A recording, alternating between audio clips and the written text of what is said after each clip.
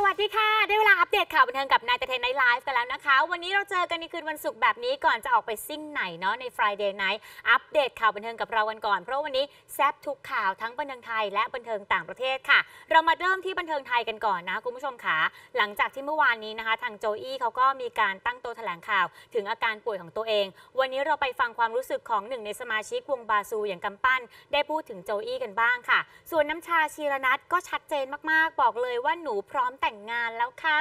และความฮอตของสาวๆ BNK48 นะคะคุณผู้ชมค่ะ งานปังมาก ทั้งงานอีเวนต์เอยรวมถึงการโกยพรีเซนเตอร์นับไม่ถ้วนด้วยค่ะ ส่วนหนุ่มคนหนุ่มคนนี้ค่ะ ก็ฮอตเหมือนกันโป๊บธนวัฒน์ฮอตจนกระทั่งนะคะต้องมีบอดี้การ์ดหน้าเดิมๆตามประกบตลอดค่ะ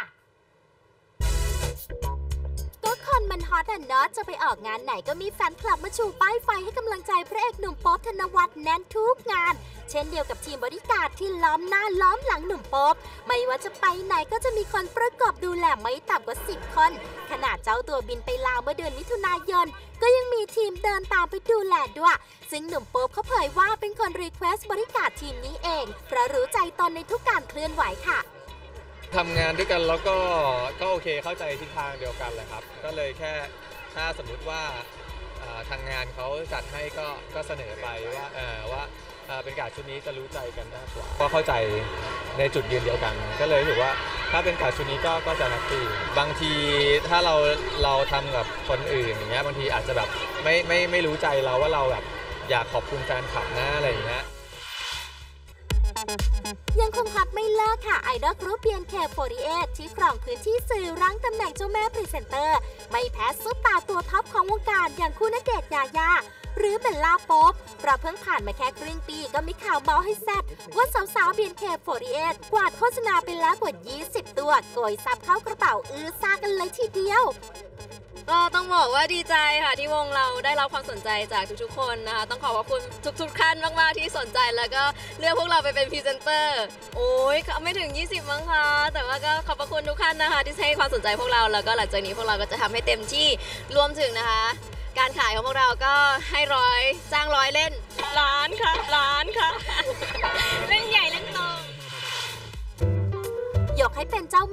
เจกต์อีกคนไปเลยค่ะ สาวม่อนน้ำชาชิรนัทเพราะนอกจากจะมีแบรนด์เครื่องสำอางและอาหารเสริมของตัวเองแล้ว ล่าสุดยังผุดธุรกิจใหม่เปิดตัวร้านเครื่องสำอาง ที่รวบรวมสินค้าเพื่อความงามแทบทุกแบรนด์มาไว้ด้วยกัน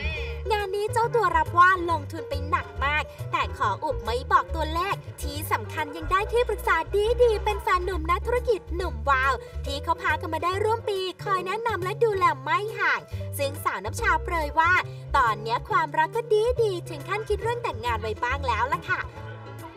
ก็มีมองเพราะว่าตอนนี้ก็ทยอยไปงานแต่งงานเพื่อนผู้หญิงโสดก็จะแบบรู้สึกว่าอยากแต่งแต่งแต่งเมื่อไหร่ฉันจะมีวันนี้หรือว่า หรือว่าแบบฉันจะมีวันนี้ไหมนะ เอ๊ะ หรือว่าฉันจะต้องปรับอะไรบางอย่างหรืออะไรอย่างเงี้ย ก็จะมีความรู้สึกนี้ แต่ว่าก็ไม่ได้แบบเร่งรัดไม่ได้อะไร คือชาชาเฉยๆ เอาให้พร้อม แล้วก็ แล้วก็ค่อยดูกันยาวๆ นุ่มกำปั้นปาซูก็เผยว่าหลังจากรุ่นพี่ร่วมวงโจอี้ปาซู ได้เข้ารับการฟื้นฟูร่างกาย ซึ่งเป็นผลมาจากอาการเส้นเลือดในสมองตีบ ตนก็มีโอกาสได้ไปเยี่ยมพี่ชายอยู่บ้าง และดีใจที่เห็นโจอี้มีพัฒนาการที่ดีขึ้นเรื่อยๆ แต่ขณะเดียวกันก็แอบสงสารที่ชีวิตโจอี้ต้องพลิกผันขนาดนี้ค่ะทั้งปงด้วยทั้งสงสารด้วยอะไรอย่างเงี้ยแล้วแต่ก็บอกว่าไม่ไม่เป็นไรครับ พี่โจจะเกิดอะไรขึ้นน้องๆ หรือ ผมหรือเดบี้อะไรเงี้ยเราก็เป็นกำลังใจแล้วก็จะอยู่ข้างๆนะครับ ก็มีอะไรก็คอยช่วยเหลือกันอะไรเงี้ยครับพี่โจก็ค่อนข้างเขาจริงเขาเป็นคนใจสู้อยู่แล้วเนาะเพราะเขาผ่านอะไรมาเยอะนะครับเขาก็เขาก็พูดเออเขาไม่น่าพลาดไม่น่าผิดพลาดตรงนี้อะไรเขาก็พูดไปบ่นไปแล้วก็เฮ้ยไม่เป็นไรพี่ผ่านแล้วผ่านไป เราเริ่มต้นใหม่ใจหายเหมือนกันนะ เพราะอย่างที่บอกว่าปีนี้มัน 20 ปีบอสบาซูเราก็มีโปรเจกต์ที่เราจะทำกัน ทุกอย่างมันก็ต้องหยุดไปหมดเลยอะไรเงี้ยแล้วก็เวลาเราไปเล่นคอนเสิร์ตเราก็จะนึกถึงหรือว่าเราเห็นมิวสิกวิดีโอหรือคนพูดถึงบาซูก็ ก็จะนึกถึงพี่โจอี้เดบี้เนาะจะขาดไปคนใดคนหนึ่งก็ไม่ได้ มันก็จะเกี่ยวขาไม่ได้ต่อตัวไม่ได้อะไรอย่างเงี้ยด้านนักแสดงหนุ่มแบงค์อาทิตย์ก็ออกปากว่าตกใจมาก หลังเห็นข่าวการเสียชีวิตของไฮโซเชอรี่ทิติมา เพราะผู้ตายคือญาติทางฝั่งพ่อ ซึ่งตนไม่ขอพูดอะไรมาก เพราะเป็นเรื่องคดีความ และเป็นหน้าที่ของผู้ใหญ่ที่ต้องพูดคุยรายละเอียดกันค่ะ ช็อกสิครับตื่นมานามสกุลผมขนาดนั้น ก็รู้สึกมันเป็นเรื่องที่ เอ่อเรื่องเรื่องสเป็นขวัญแล้วก็ผมก็เสียใจกับทางฝั่งนั้นด้วยเหมือนกันครับส่วนใหญ่จะคุยกับคุณพ่อคุณแม่ เพราะว่าทางคุณพ่อคุณแม่จะสนิทกับทางนั้น เหมือนเราไม่ได้เจอกับทางฝั่งนั้นมาสักพักหนึ่งแล้วครับผม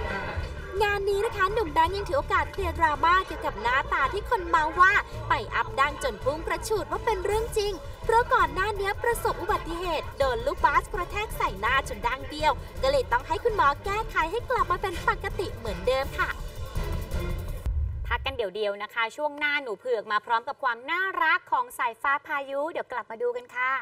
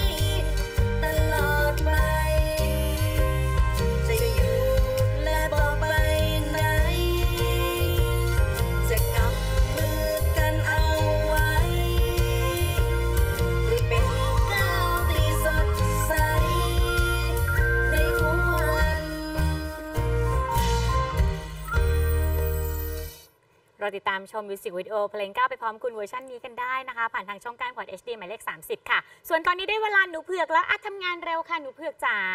วันนี้นะหนูเผือกค่ะเขาก็ไปส่องความน่ารักน่าชังของสายฟ้าพายุมาฝากพี่ป้านาอาทั้งหลายด้วยล่ะ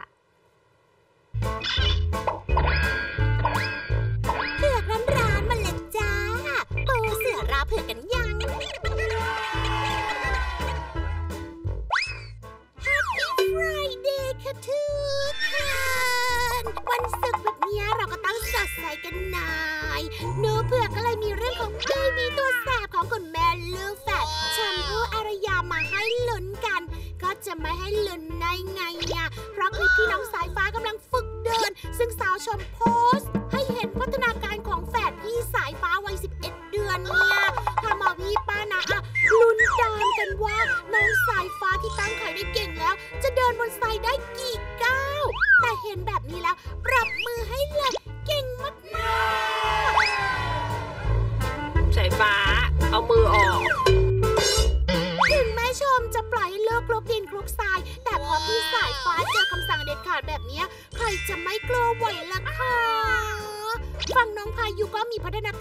ไม่แพ้พี่ชาย ถึงจะเดินไม่คล่องปร๋อ active เท่า แต่สายละมุนอย่างพายุก็เดินได้อย่างมั่นคงเหมือนกัน งานนี้ถ้าเดินคล่องวิ่งคล่องเมื่อไหร่เชื่อว่าแม่ชมและพี่เลี้ยงต้องคอยตามจับสองเสร็จกัน